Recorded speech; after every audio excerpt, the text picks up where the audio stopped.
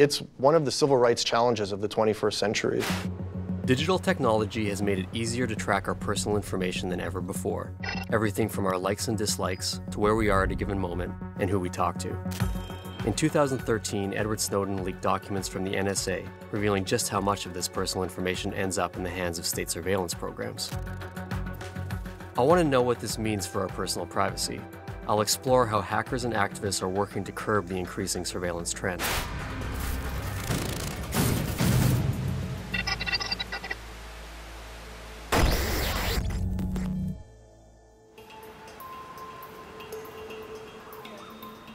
Our personal data is valuable, but how far are we really willing to go to protect it? How often do we take a real interest in seeing where it ends up? Professor Jonathan Obar set up a fake networking site called NameDrop with some outrageous terms of service. He wanted to see how many people would take notice.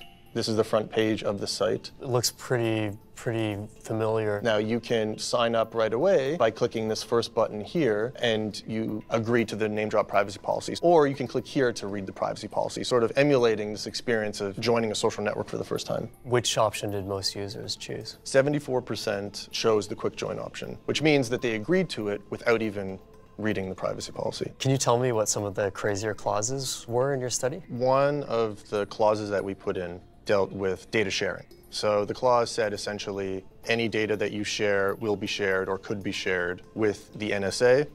And there was a, a more explicit gotcha clause in there too, wasn't there?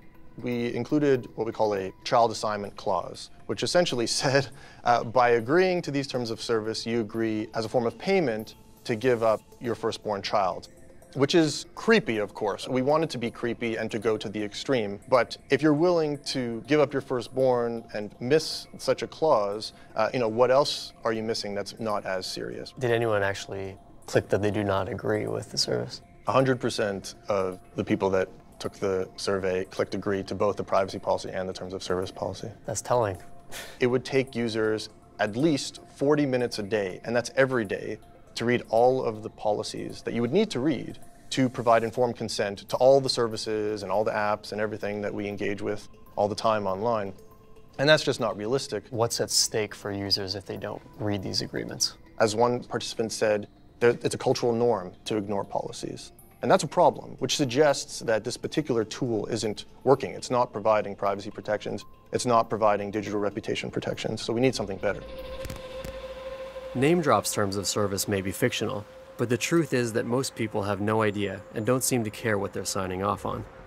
That's a real problem because in today's world, your data can be used to manipulate you in terrifying new ways, whether by a political party trying to get your vote or that online advertisement that won't stop following you around. Cybersecurity expert Eric Parent does deep web investigations on behalf of corporations and law enforcement, and increasingly, the tools he uses are publicly available meaning pretty much anyone could be using these tools to dig into your past. I'm going to show you a couple tools that are actually out there that anybody can use. And when you put in something, a search parameter, so if I put in your name, for example, we've already got some hits here for uh, different company names or locations. And uh, you can actually navigate through the data, but uh, there's a visualization, which is very interesting. Uh, because when you look at it here, what you're actually seeing is the pertinence of these different subjects. So when you click on these things, it'll actually show you the links that it found that uh, pertain to that particular subject. They keep track of everything you've searched for since the beginning of time, basically. You see people posting stuff, sometimes you say, well, that's stupid. You should never have posted that because it's gone now. It's out of your control. So where do you see that going? To hell? I mean, let's, fa let's face it, these corporations have all your data. They know exactly what you've searched for, and uh, from a privacy perspective, it's a huge problem. What's scary is that Parent is just scratching the surface of where our data ends up once we've signed it away. I visited Dr. Ann Cavoukian at the Privacy and Big Data Institute to learn about just how massive a challenge getting control over our data will be, especially when so many different groups are after it. The Federal Trade Commission in the US did a study last year. They looked at 12 mobile health and fitness apps, and they found that the 12 devices they looked at, the information was flowing to 76 different third parties, unauthorized. 76, that's just one. Uh, I tell companies, look, you may collect information from individuals and you may have custody and control over that information, but you don't own that information. It doesn't belong to you. It belongs to the data subject to whom the information relates. I cannot tell you how different things have been since Edward Snowden's revelations because he really revealed for the first time the massive amount of government surveillance taking place all around the world. Public distrust is at an all time high. 90% of people were very concerned about their privacy, didn't know what to do about it. With so much pressure, there's no surprise that most people feel stuck when it comes to protecting their privacy online. Some members of the global hacking community are trying to pave a way forward. While the community doesn't always see eye to eye on how to protect personal data, almost all agree that it's something worth fighting for. David Mirza Ahmad is a former Black Hat hacker who's built an operating system to do just that. So you and your colleagues are developing an operating system that's designed to enhance people's privacy and give them more security. There's a spectrum of privacy preserving technologies that you can use. In our project, we tried to bring them together. Everything in SubGraph OS today goes out through the Tor network. And we have secure file sharing tools and secure email tools, and we have a secure chat tool. Your background is in the Black Hat world. Now you're on the open source side of things. Do you think that's a, a trend uh, that we're going to see happen as well? The hacking subculture, it's not about you know crime. It's like just about understanding how things work and you know, challenging arbitrary authority. There are places where governments are extremely aggressively monitoring for any kind of dissent. And privacy is like a question of life or death in some of these places. So I think a lot of people from our generation and, and, and the generation that's there now is is continuing to be at the front of this uh, movement to make sure that the internet remains an open, free, transparent uh, platform Thousands of hackers and activists around the world are pushing the limits when it comes to defending privacy and fighting back against surveillance. In many cases, they do so at extreme risk to their own personal freedom. In 2015, Canada passed sweeping surveillance laws as part of its new anti terror legislation, Bill C 51. In response, activists from Anonymous fired back with targeted operations against the Canadian political and security establishment. I connected with Anonymous hacktivist Raymond Johansen to get an idea of how these operations work and why people risk so much to take part.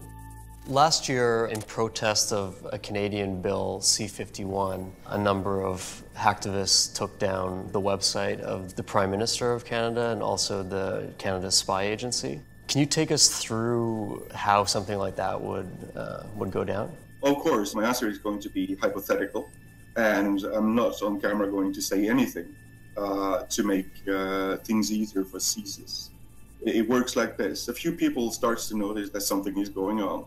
Let's say they read about the Patriot Act uh, being imported to Canada in the form of a, of a bill. Maybe it's called C51. They get worried. Enough people start to do research and see that this is going to be wrong. Then they start to spread information. More people joins in, and some of them may start to work on attacking servers, and then maybe attempt a little hack and get a couple of documents out showing uh, how badly the CSIS have acted in the past. Were there international hackers involved in the uh, in the DDoSs of the Canadian government websites? I can definitely say yes, but I say that as having watched it from the outside. Regularly, I participate in, in swap meets where we uh, exchange tasks. So a Mexican will do something that needs to be done in Sweden, and the Swedes, in their turn, will do something that needs to be done in Thailand. And it's just a smart way, an obvious way to, to protect uh, everybody. Do you ever fear that the work that you do could get you into a lot of trouble? I work with those persecuted and jailed anonymous activists and hacktivists around the world, so I know what could potentially happen to me. But you see, uh, I have no sense of self importance. I am no one. I am irrelevant. But of course, as all activists, boots on the ground or um, in front of a keyboard, I accept the risk. So, what do you say to people who, who, who claim that they don't have anything to worry about, they're not doing anything wrong, and so they don't take any steps to secure their own security? You have walls uh, on your house and you have curtains. Why do you have curtains? Of course, privacy matters. It's a human right. Our personal privacy is at risk like never before. As governments and corporations innovate new ways to use our data, the results are increasingly affecting how we live our lives, deciding things ranging from what apartments we can rent to whether or not we end up on a government watch list. We need to begin to ask ourselves where do we draw the line? Has the line already been crossed? And how far are we willing to go to save privacy as we know it?